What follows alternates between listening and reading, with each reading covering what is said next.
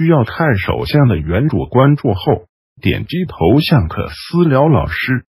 我们来看视频中的图解，手相中不动产线越多，说明此人不动产的财富很丰厚，很可能是通过房地产来赚钱。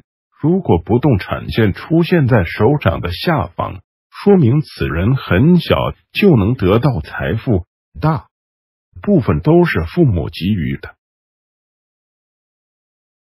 需要看相或者批八字，可以加老师微信：六六七二三三幺九。